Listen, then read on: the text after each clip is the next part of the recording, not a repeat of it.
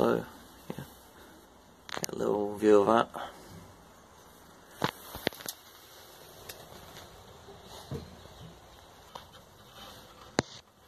Yeah, there's definitely water in there.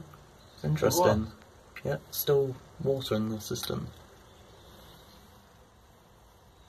You just thought that would have um, evaporated, evaporated away, wouldn't it? Yeah. Yeah. But might mean that the stopcock is letting a little bit of water drip in at, at, the, t- at the same time. Yeah, most could of- be, couldn't? Most importantly, when you pull the chain once and hold it down and let go entirely, it's supposed to flush on the first pull because if not, it's not a really good restoration project otherwise because no matter how good you can get the inside and remove all the rust off, you won't be able to s- resolve that issue because over time uh, the old cast iron wears and and doesn't flush properly. That's how they all keep, kept getting replaced and stuff over time. We'll see how it goes there.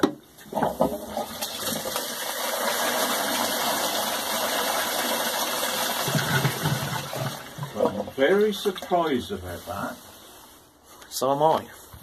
Didn't, didn't feel too heavy, but. Ah, okay, yeah, there's no water coming in, so that's quite interesting to make. Well,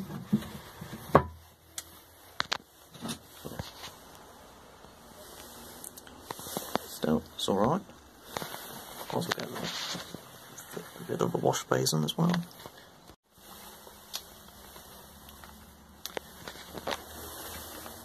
Obviously, you'll be able to hear it.